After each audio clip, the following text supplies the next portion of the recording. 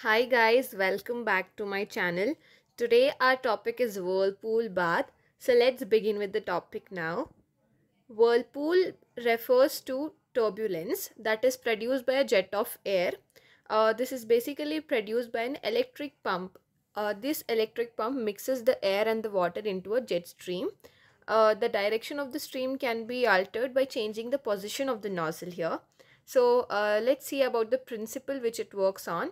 It works on the principle of conduction. Uh, here uh, we use both the effects of temperature also with the mechanical effects of water. So warm whirlpool contains water at temperature range between uh, 36 to 45 degrees Celsius and uh, jet of water of air stream allowed to produce turbulence in the water. So basically here we use both the effects of temperature and the mechanical effects of water to provide the therapy. Types of whirlpool bath. So uh, we have uh, low boy tank, high boy tank, Hubbard tank and extremity tank. Now let's look into each type of the whirlpool bath in a bit detail. So as you can see here this is the low boy tank.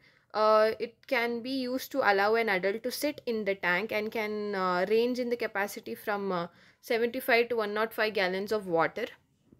Um, high boy tank, uh, sometimes referred to as a hip or leg tank, where uh, an uh, extremity can be immersed, and the capacity range is from uh, 60 to 105 gallons. Next comes the full body immersion or Hubbard tank. The Hubbard tank has a greater potential for exercise during the treatment due to its large size. It can accommodate the full body and uh, the capacity of this water tank is uh, really high. So as you can see here, this is what the Hubbard tank looks like. And uh, yeah, so here uh, uh, we need to keep in mind that uh, exercises can be performed within the tank and uh, changes of uh, chances of contamination are more and also it is very expensive. Next comes the extremity tank. The extremity tank is usually used for the upper or the lower extremities and has a capacity of 10 to 45 gallons of water. Temperature range uh, temperature range uh, we can adjust it can be cold or hot or warm uh, so depending upon the area being treated and the condition being treated we can uh, set the temperature. So these are the ranges. Uh, for hot it would be between uh, 99 to 104 degrees.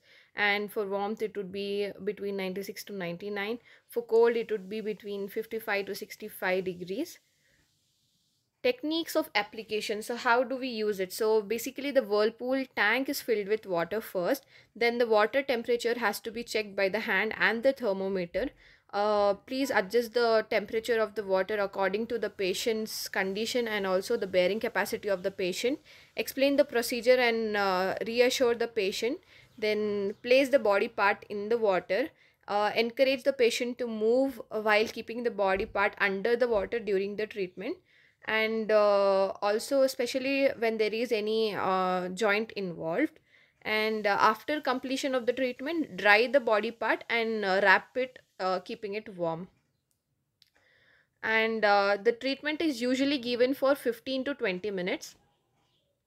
Therapeutic and physiological effects. So the whirlpool bath combines the values of conductive heat and gentle massage too uh, it provides a sedative action. It uh, relieves pain by uh, stimuli uh, and also uh, it happens due to the pain gate mechanism. It acts on the pain gate mechanism.